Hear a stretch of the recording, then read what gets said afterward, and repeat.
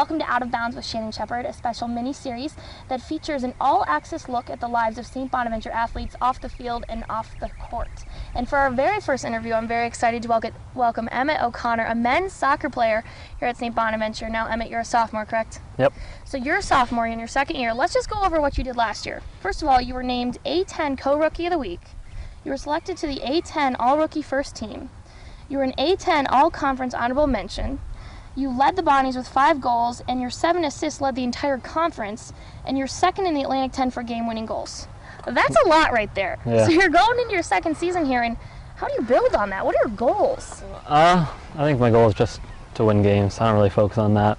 Just want to get back in the tournament. Hopefully, build on what we did last year, do a little better. Now you're coming into your second season here. How did you prep this summer after your first collegiate experience as a soccer player? Uh, the club team I play for, like back home, there's a lot of people that go to schools in the states, like different areas. So we all just get back together, play for uh, men's team, and then so that's pretty good, and I stay fit that way.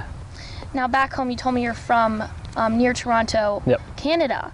And so, how did you get your start in soccer? Isn't it pretty cold up there in Toronto? Yeah, well, my dad's from Ireland, so when he came over, he was big into soccer there, or football there. And so he got my brothers into it, and I have two older brothers. So when they started, I guess I just kept on going where they left off and started playing. Now your two older brothers, you told me earlier they played a little bit of college soccer themselves. Yep, I have one that still plays for Laurentian University, it's called, in Sudbury, and one's done with college now, and he played for the, his college, Centennial College. So, is there ever any competition between the O'Connor brothers and who's the better soccer player? Uh, not really. We don't really. We're not really like that, like that, I guess.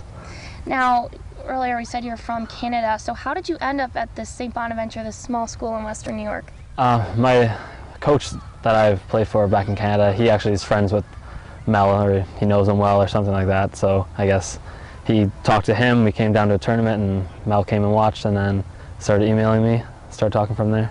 Were you looking at any other schools? I mean, what was it about Bonaventure that drew you in here? Uh, well, I was kind of interested in going to an American school. I thought it'd be neat to come here, and I guess I came, visited, really liked it. It was small, like close knit kind of thing, and plus it's really close to home, so that was pretty much the deciding factor. Yeah. And so, being from Toronto, I know that's a couple hours away. Is your family ever able to come and see you play? Yep, they've come to they came to a few games last year. They've already been up to one this year, and they'll be up to more for sure. Cool. All right, now Emmett O'Connor, star soccer player for this men's soccer team. What's a normal day in your life like when you're in season? Uh, well, today we woke up, started practice at six, and then went to 7:30. Then I had class at 8:30. Went through the day during my classes, and then went back to my room around two, and then came back here for three o'clock. Any Just- nap? Any nap in between there? Have a little I try I try to as, as much as I can, but not today. But I do a lot, yeah.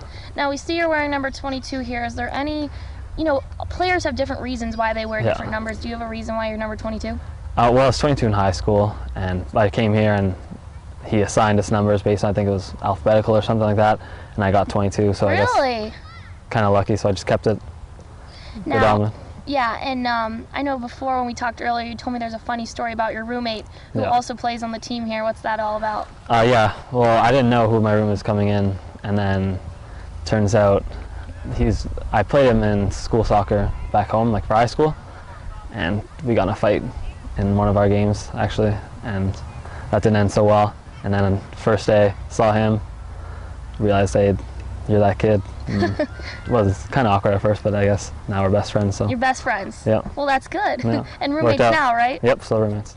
All right, now in all of these episodes of Out of Bounds, we're going to do a quick 10 in which I ask the players questions and they just have to react right away. You have to tell me what you think right off the bat, and we'll just go with it from there. Okay, are you ready? Yep. You're on the hot seat. Okay. Okay. All right. All right, would you rather live in the United States or back in Canada? Canada. Uh, your favorite place to eat on campus? RC. Your favorite professor? Dr. Paula. Would you rather bike the Allegheny River Trail or rollerblade it? Bike. Oh, I'd rollerblade myself. uh, would you rather look like Ronaldinho or play like Ronaldinho? Play like Ronaldinho. Really? Read the That's it. BV, read the BV or listen to the buzz. Listen to the buzz. Ooh, good. I like that answer. Mac or PC? Mac. Got a Mac. Me too. Uh, fly or read minds? Read minds. Pepsi or Coke? Coke. And the worst Claire class you think you're gonna have to take while you're here? Religious texts. Religious tax over Natty. That's a shocker. Oh, probably not even. Natty. yeah. Didn't think about that. Exactly. All right. Well, Emmett, thanks so much for sitting down with us on No Out of. Bounds.